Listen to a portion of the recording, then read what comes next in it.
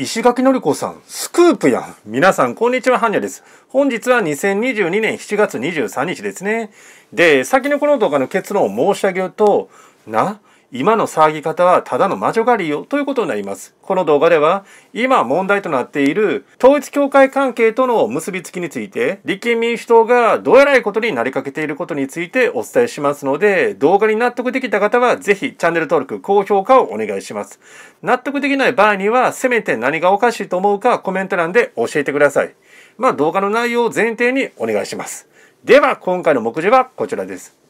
では、早速こちらをご覧ください。こちらは当チャンネルでもたびたび取り上げている立憲民主党の石垣のり子参議院議員の7月20日午前9時23分のツイートですね。以下引用です。世界日報今年の正月特集、自民、国民、維新、会見3党、統一協会の機関紙に揃い踏み、わかりやすいですね。以上ですね。また、このツイートを立憲民主党の蓮舫氏が引用リツイートしていますね。以下引用です。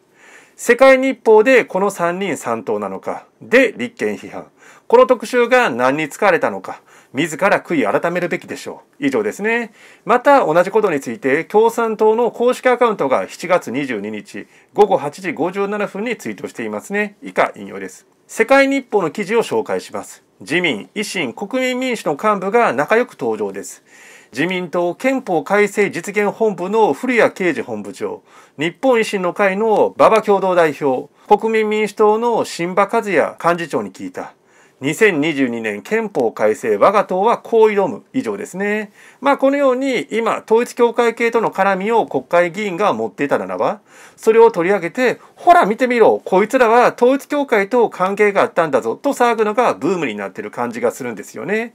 で、先ほど紹介した世界日報に維新の馬場幹事長などが出ていたことが報じられたため、最近の報道でもあったのですが、日本維新の会の松井代表が党所属の国会議員と旧統一教会との関係を馬場幹事長に調査するように命じたことについて、おいおい、馬場に頼んでどうするんだよというツッコミがあったりするんですよね。で、このようなことをしていますと、この件について石垣のり子氏が世界日報側から抗議文を受け取ります。こちらは7月22日午後4時33分の石垣のり子議員のツイートですね。以下引用です。世界日報より抗議文が届きました。世界日報を統一教会の機関紙とする私の発言の撤回を求める内容です。結論から申し上げますと、このような脅しに屈し、私が発言を撤回することは決してありません。なお、口述する通り、世界日報統一教会の機関紙と扱う学術書や辞書類は複数存在します。以上ですね。で、そこにはこのような抗議文が添付されています。これは世界日報を発行している世界日報社が7月21日に石垣のり子氏に出した抗議文ですね。そこには、世界日報は統一教会の機関紙ではない。そのことは平成26年の国会でもやり取りがある。かつて世界日報には正月企画の政治座談会に枝野幸男、岡田克也、安住淳議員なども出ている、などなど書かれており、石垣議員の問題のツイート、蓮舫議員などのツイートらを削除するように求めています。で、正直言って世界日報が統一教会の機関紙やないという抗議文の内容はどうなんでしょうね。少なくとも世界日報を知ってる人のほとんどが世界日報が統一教会と関係しているものだと認識してるからね。ちなみに抗議文にある平成26年の国会でのやり取りは小川淳也議員ですね。なんで訂正したのかなでね、結局ブーメランだったわけですよ。世界日報に枝野さんらが出ていたことが明らかになったわけですから。この件について先ほどの抗議文を添付したツイートに続けて、石垣氏はこのように語っています。以下引用です。岡田克也氏、枝野幸男氏、安住淳氏は立憲民主党が誇る先輩議員です。しかし、その尊敬する先輩議員が世界日報に登場するというわけの甘さをお見せになったら、還元申し上げるまでのこと。まして、ああ、先輩もお出になってるんだな、と世界日報を正当化するはずはありません。世界日報統一協会がここで我が党の誇る先輩議員の名前を列挙したのは、いわゆるブーメランの指摘ではなく、どうだ、お前んところの偉いさんも出てるぞ、感服しろと言いたいからでしょう。ほらね。世界日報統一協会はこうやって政治家を広告塔に使うんです。以上ですね。で、まあ言ってることはわからないでもない。ただね、統一協会系の雑誌のインタビューに答えただけで、対談記事を出しただけで、訳が甘いというのもおかしいと思うんですよね。そもそもその雑誌に出たから広告塔だって思う方が狂ってるわけですよ。以前も申し上げましたが、コロナ対策の脇田さんが赤旗のインタビューに答えていますが、脇田さんからしたら赤旗の読者にもコロナ対策をしてほしいと思うのは当たり前でしょう。もし仮に赤旗に出た人は全員共産党関係者なんだと思うならそれは認識が間違ってると思いますね。そして世界日報を読んでる人も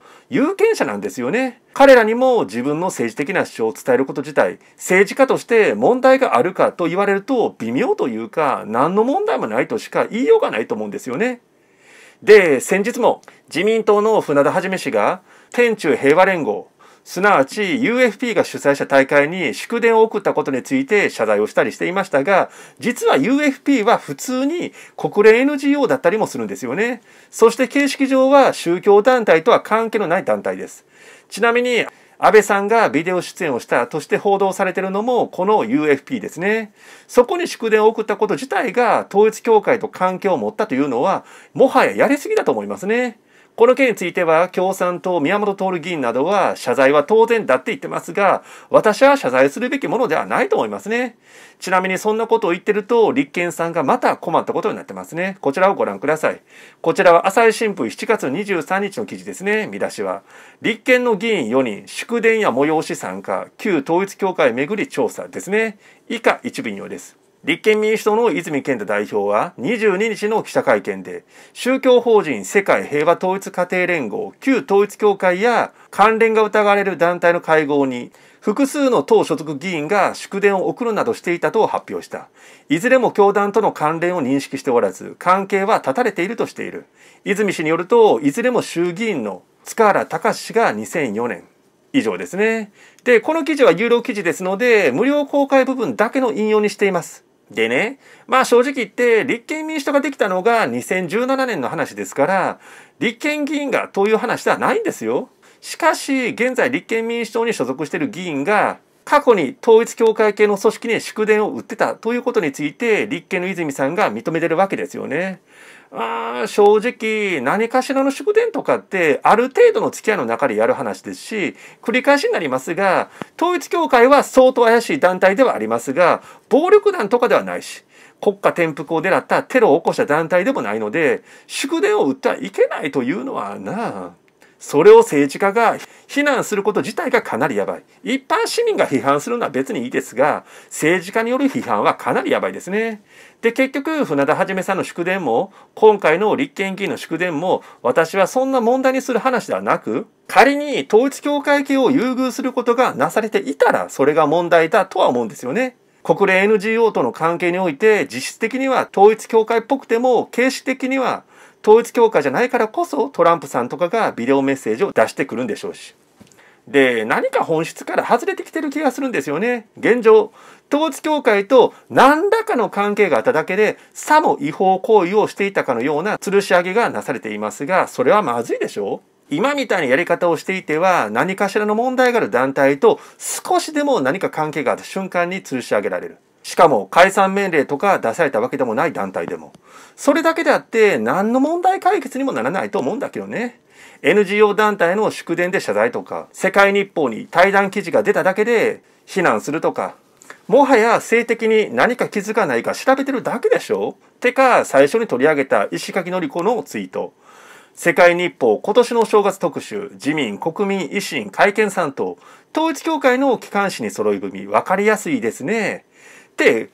完全にこれ間違いと分かりましたね。分かりやすいんじゃなく、読んでる方が勝手に妄想して叩いている。すなわち、難癖をつけてるだけなんですよね。枝野さんだって対談記事出してるんだから、一方だけ分かりやすくて、一方は脇が甘いって解釈する時点で、石垣のり子さんがどんだけバイアスを持って判断してるか分かりやすいですね。皆さんはどんな風に思われたでしょうかぜひともね、皆さんの感想をコメント欄で教えてください。またね、ぜひともチャンネル登録、高評価、そしてね、他の動画のチェックも忘れずにしててください。では次の動画でまたお会いしましょう。バイバイ。